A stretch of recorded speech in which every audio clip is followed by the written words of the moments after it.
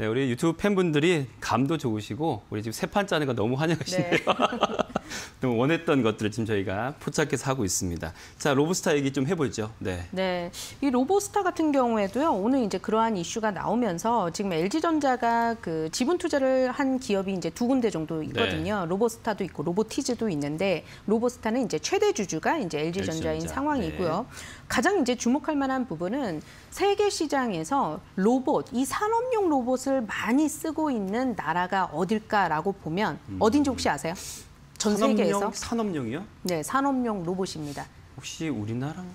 네, 거의 우리나라 근접하셨는데요. 일본인가요? 어, 얼마 전까지만 해도 우리나라가 1위였고요. 네. 이제 그것을 싱가포르로 약간 네. 내줬는데 아, 또 다시 그랬군요. 이제 엎치락뒤치락 하고 있는 네, 상황이라고 네, 네. 볼수 있을 것 같아요. 그런데 아 우리가 이렇게 제조 시설에서 로봇을 많이 사용을 음. 했었나라는 생각이 드는데 안타깝게도 이 제조에 있어서는 로봇을 제조를 해서 납품을 하는 그 실적에 있어서는 우리나라가 이제만 태동이 된 상황이라고 볼 음. 수 있어요. 그 얘기인즉슨 아 로봇을 정말 많이 수입을 해 오는구나라고 이렇게 연결을 지어 볼 수 있거든요. 음. 네. 그러면 이제 판은 짜져 있고 또 로봇 관련해서 제조 설비 투자가 또 이루어진다면 네. 최근에 뭐 파운드리 투자도 늘리겠다라는 그런 이제 얘기들도 들려오곤 하는데 이런 로봇 산업에 있어서도 정말 성장성은 무궁무진하다. 음. 왜 우리나라 안에서 수요를 하는 수요로 하는 그 로봇의 대수도 어마어마하게 많기 때문에 네, 그래서 네. 우리나라 그 수요만 어느 정도 소화를 하더라도 정말 로봇 시장의 성장성에 있어서는 무궁무진한데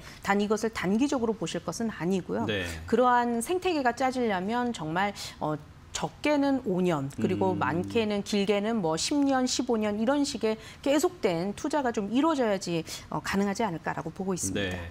그러고 보니 떠올랐어요. 애국가 나올 때 보면 화면에 네. 반도체 공장에 로봇 팔들이 아 그런가요? 그렇죠. 그게 생각나서 그렇지 우리나라가 많이 쓰지 했는데 네. 우리 기억에는 이제 그런 거죠. 로봇 팔만 생각하면 또 로봇이랑 가깝지 않은데 이제는 네. 완성된 모습의 로봇이잖아요. 네네. 최근에 보면 그 로봇이 일부러 사람이 충격을 가했는데 넘어지면서도 자기 목적을 계속 해내는 걸 어, 보면서 예. 어, 너무 무섭기도 하면서 놀랍다라는 생각을 했었는데 네네. 자 그러면 관련 산업들 이 관련주들은 최근 어떤 동향이 있습니까?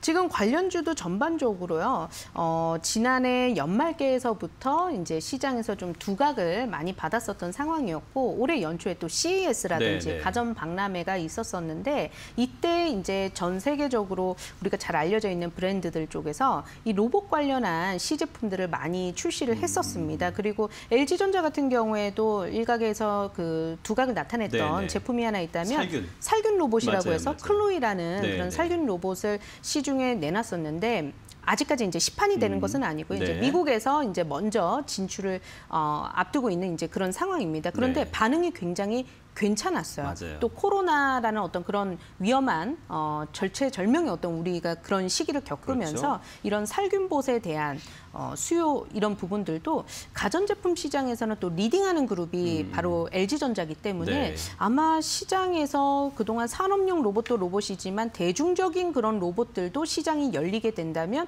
이것은 그야말로 스마트폰처럼 제3의 변화가 나타날 것이다라고 보고 있는 어, 그런 분석들도 더해지고 있고요. 다만 네. 이런 부분 들도 로봇 한 대당 정말 비싸거든요. 네. 산업용 로봇도 말할 것도 없고요. 그렇기 때문에 미국이나 좀 로봇 산업에 있어서 두각을 나타내는 그런 국가들 보면 국가나 정부나 지자체가 나서서 보조금을 상당히 많이 투입을 하고 있는 상황입니다. 네. 아직까지 우리나라는 이제 그런 부분에 있어서 예산이 조금 작게 편성이 되어 있기 때문에 이런 부분들이 조금 어, 제한적으로 좀 풀려지게 된다면 중장기적으로는 우리나라 로봇 관련 제조업체들 어, 성장성이 일단은 열려 있다라고 그렇게 좀 해석을 해봐야 될 것 같습니다. 네.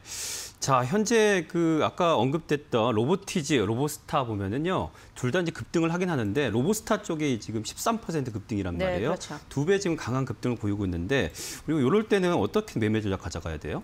지분 차이라고 일단은 봐야 될 것 같고요. 네. 오늘의 그런 그 상승률의 차이에 있어서는요. 그런데 이제 두 종목 모두 어, 장중에는 굉장히 강한 움직임을 보여줬었다가 오후장 들어서면서 일부 차익 실현 매물이 출회가 되면서 상승폭을 반납을 하고 있는 그런 상황이거든요. 네. 추경 매수를 하는 것은 굉장히 위험합니다. 다만 우리가 중장기적인 그런 성장성에 있어서는 제가 유효하다라고 말씀을 드렸거든요. 네. 그렇기 때문에 기왕에 매수하는데 오늘처럼 것처럼 20 몇 프로죠. 27%까지 올랐다가 밀리는 그런 종목을 현재 시점에 매수를 덜컥 하시기보다는요. 네. 2만 5천 원에서 2만 9천 원, 2만 한 8천 원 정도 되겠네 요. 이 구간대 매물을 얼마만큼 소화를 하는지 또 차익 매물들이 나가야지만 또 새롭게 매수를 하는 사람들에 의해서 가볍게 올라설 수 있는 그런 상황입니다. 그래서 네. 2만 5천 원권, 2만 8천 원권 내에서 매물 소화하는 과정 지켜보신 후 매수를 해보신다면 중장기적으로는 좋은 결과가 있을 것이다라고 말씀드려보도록 하겠습니다. 네.